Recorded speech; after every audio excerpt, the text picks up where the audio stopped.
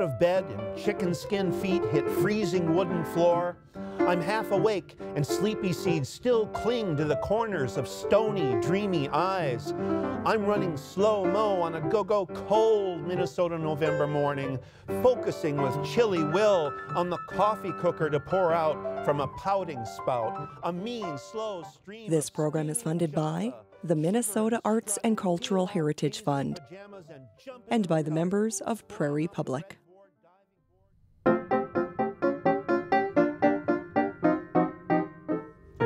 On 20th, the high school boys track team runs on the sidewalk, tanned and muscled like a squad of Adonai.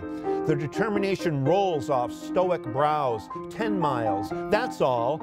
In close pursuit is the girl on the bike. She follows a few yards behind these gazelle. She pedals effortlessly, a smile as broad as the brim on her straw garden hat. The girl grins for sunshine, for summer, for bicycles, for following the high school boys track team. Before my eyes, the bike becomes a white stallion, and the girl wears a hunter's tunic with bow and arrow slung over her marble left arm. Hunting these, the easy prey, they will wear down. They run in straight lines in the flats. No water, they'll need to stop and rest in the shade. She will ride up and dismount. They cannot run. She pulls back the gut of the bow, piercing their glistening skin with her eyes. Hi, my name is Terri Manno, and I am originally from California, and I moved to Moorhead, Minnesota, actually about 26 years ago, to take the position as piano professor at um, Minnesota State University, Moorhead. I'm also a performing pianist, and Kevin and I have been colleagues for years, but it was only recently that we finally decided we were going to put together our project, and that is somehow to combine his wonderful, inventive, creative poetry with my music. His suggestion was that I should compose music to it. And I was a little intimidated actually because I haven't composed music since I was a student in, in college. I talked with him about what the mood is, what kind of emotion is behind it. And then I write music that will hopefully complement the content and the context and uh, make something even more special than just music and words, but something, something greater than the sum of its parts. Occasionally, uh, one of us comes up with a piece of music that is not composed by me that we find so um, captivating that we try to find a way to make it work with some of Kevin's poetry.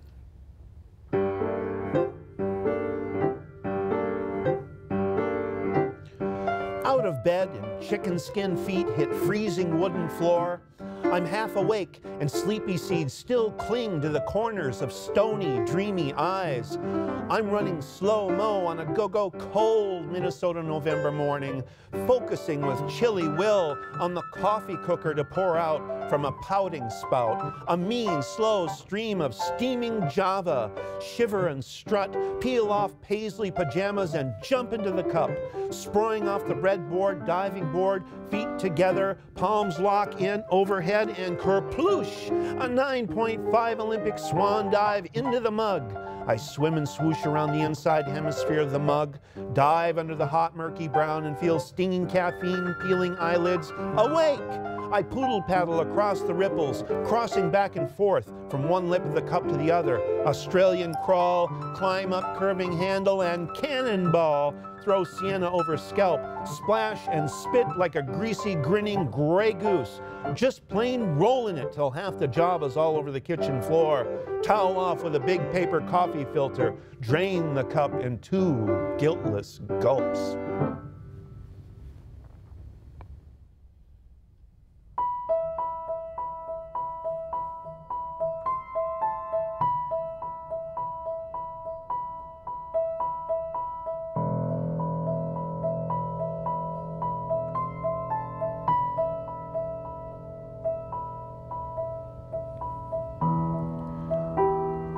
Floats through the universe coffee hut and orders a tall, dark cup of twilight.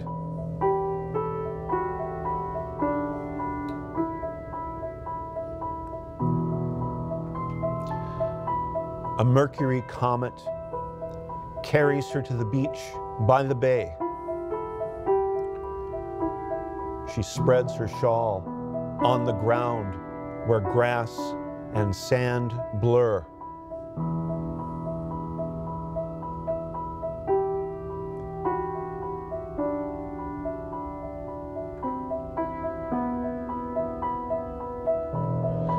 It's early morning, her favorite time, when the fiery yellow sun and shy, coy moon exchange glances in the pale iris sky.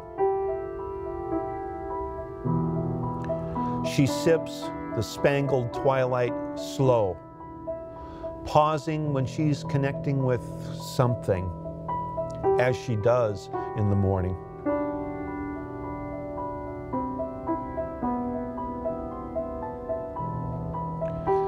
The ocean air rolling in from a point where the only land is underneath deep water, cools her face, dissipates the remaining steam from her open cup, fluttering breath from a blue mother.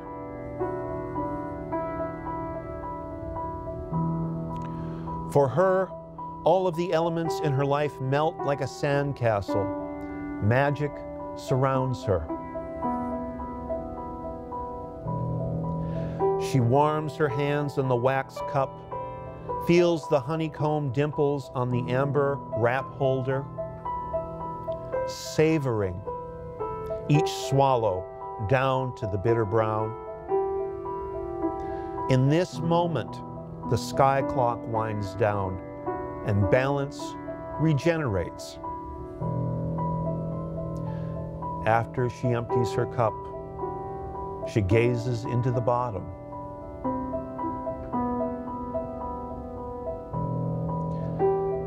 Tiny stars shimmer among earthy dregs.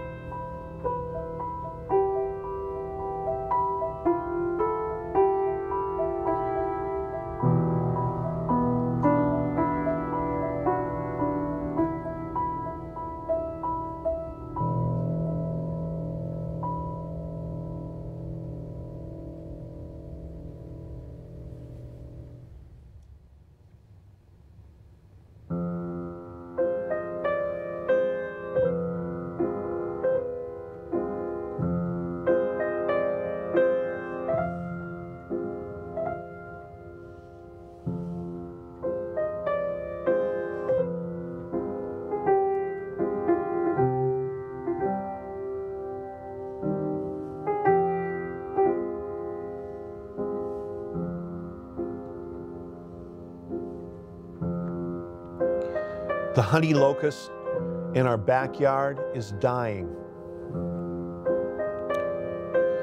Before we moved in, she watched dogs and children play under her tropical looking leaves.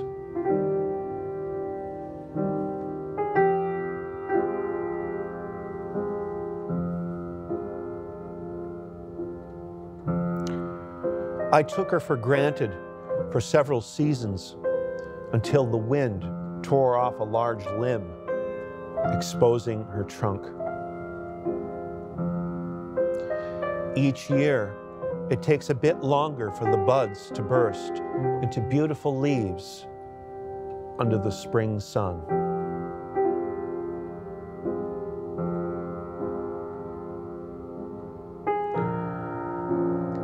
Thin layer of bright green moss is new skin on her scarred side.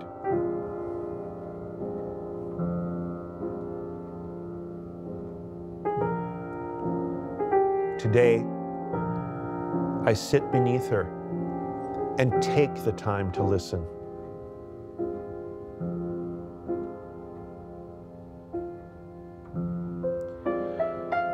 She tells me what's below her bark, where her stories come from.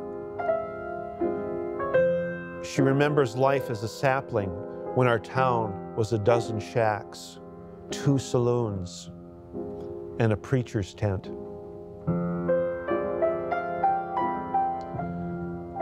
Many of the lindens and elms she knew vanished. Victims of the axe, thunderstorm, floods, disease.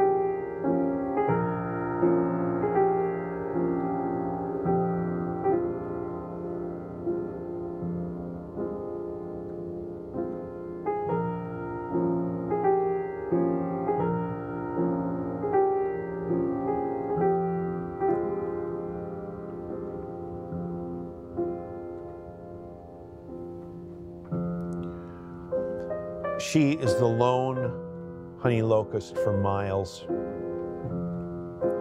She wished for a partner near her, someone to give her a forest.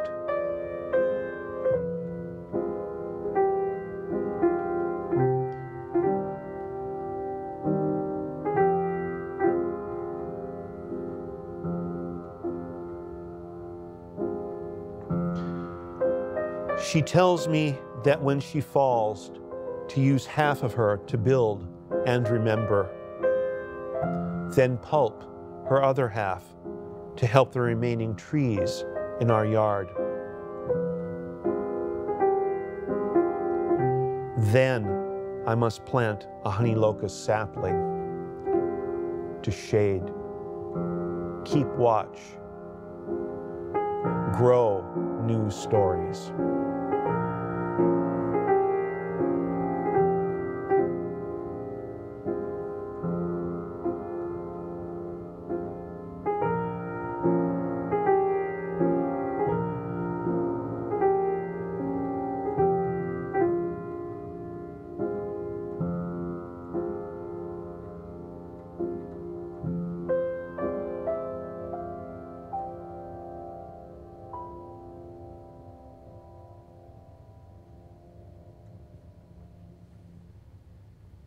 My name is Kevin Zepper, and I am one half of the group Lines and Notes.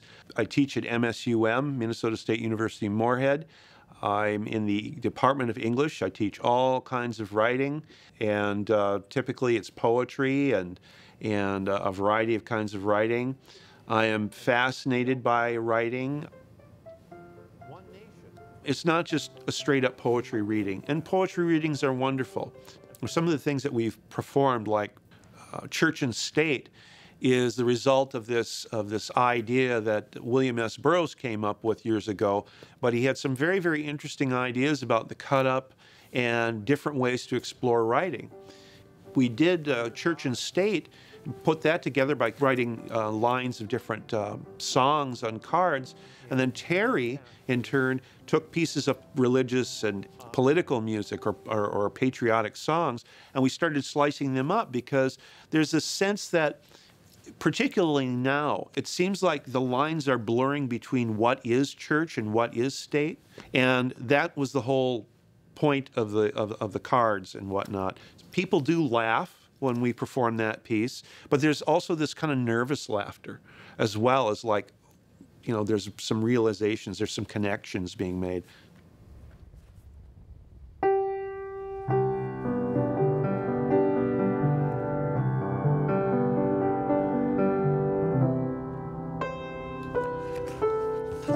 I pledge allegiance of death of the Lord,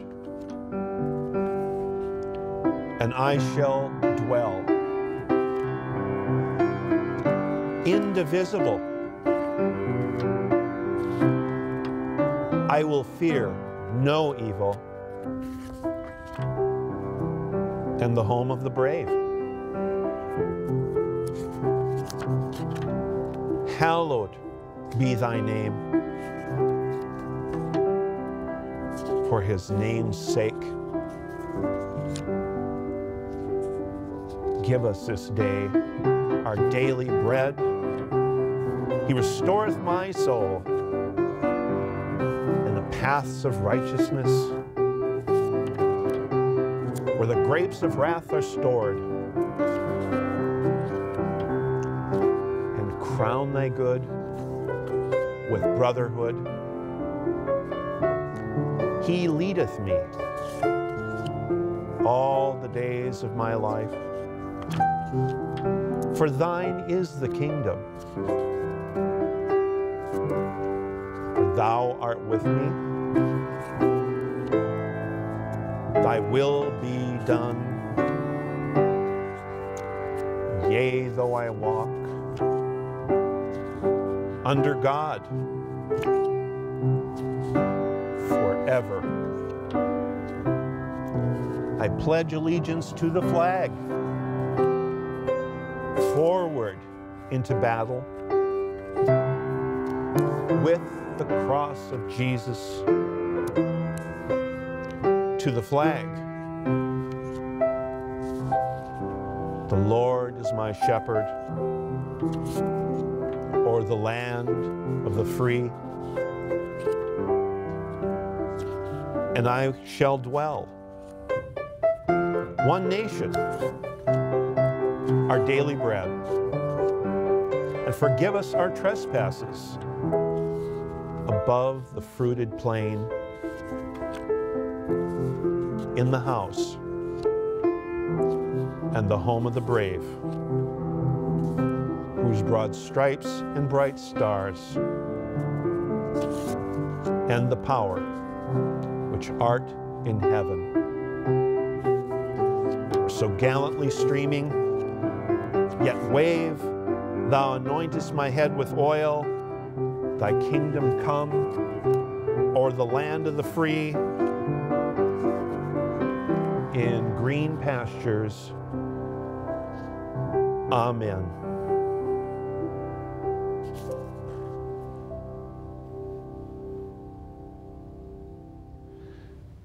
The taste of mint wintergreen tea and the lemon drop on my tongue dissolving in my mouth.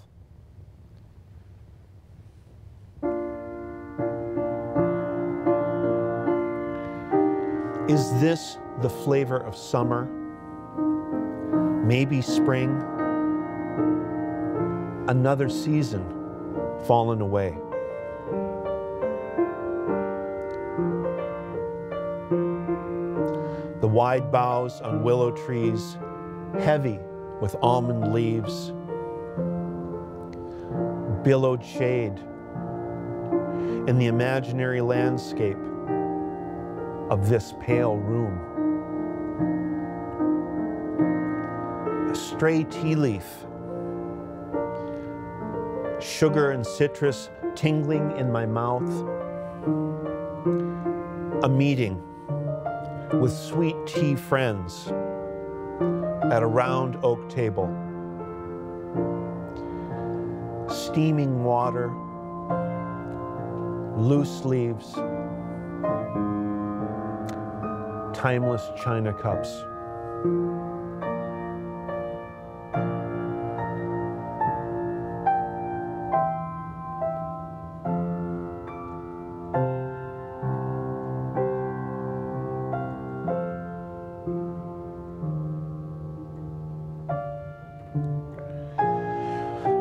The taste of mint wintergreen tea dissolving in my mouth. Another season fallen away. The wide boughs on willow trees billowed shade in the imaginary landscape. Stray tea leaf tingling in my mouth. A meeting at a round oak table. Steaming water, timeless china cups.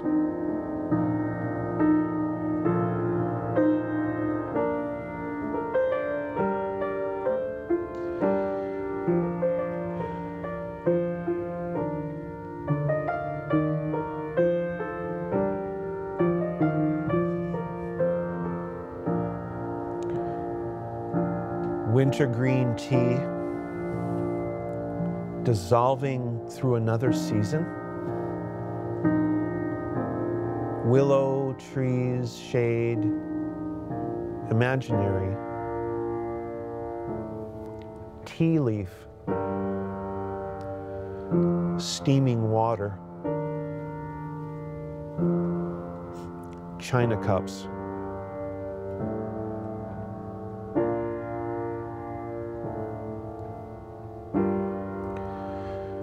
Dissolving. landscape. Tea.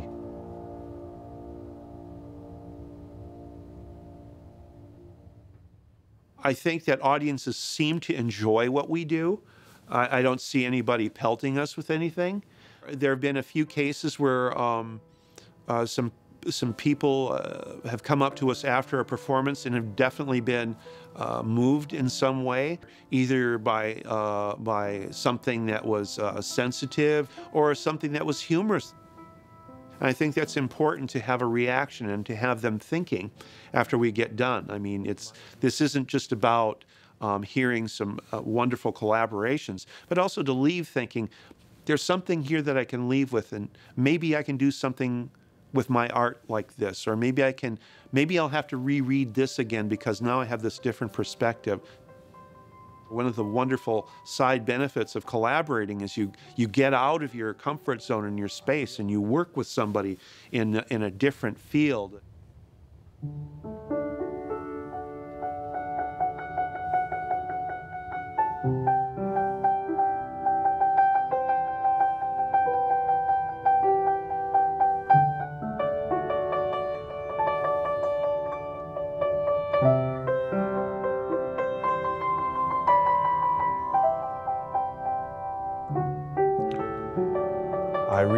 Now,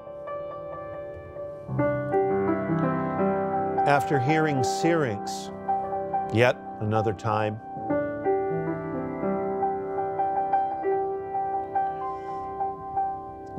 the flute is always female.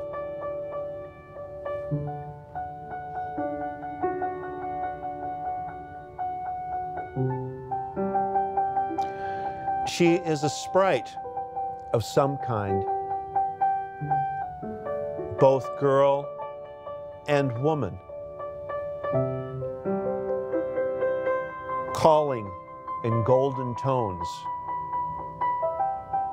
between the ground and clouds for someone to listen.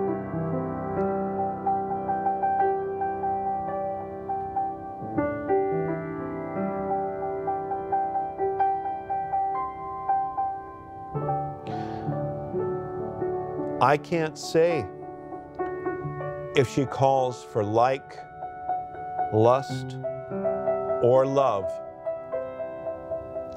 avoiding Pan's pains.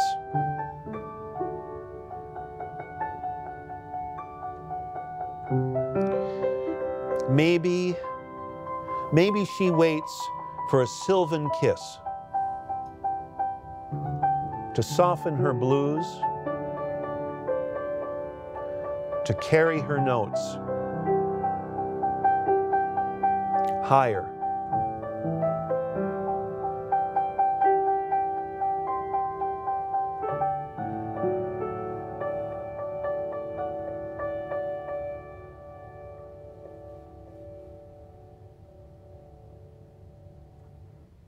Every time we have performed, people are so um, taken with what they hear and what they experience. And I don't think there's ever been a performance where someone hasn't come up and at the end and told us that that we actually brought tears to their eyes um, from some something that happened within the context of a performance. And of course, we like to finish with our um, ransom poem, and everyone's always uh, laughing during that poetry as well. So I think we touch a range of emotions in people, and we always hear those kinds of comments afterwards. So it's wonderful.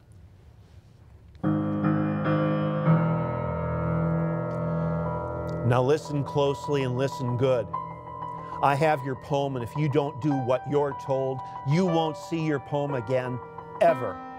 I'm not going to hang on this cell long, so don't pull anything tricky. Sounds like you got the little present I sent you. Yeah, I cut a line off your precious poem to prove I mean business. Yeah, yeah, call me what you want, but I got your little verse tucked away, and I'm calling the shots. Here are my demands.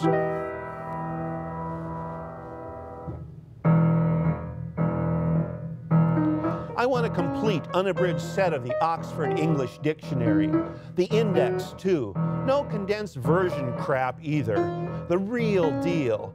Meet me behind the noble barn at midnight. Go to the second dumpster where they ditch the tear covers and romance returns. Stuff the OED in a big black lawn bag, two ply, and put it on top of the dumpster lid.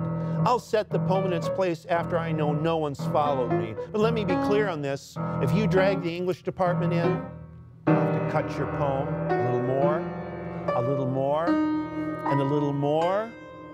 Be a smart poet and don't try anything heroic. I have a degree in American Lit, and I'm not afraid to use it.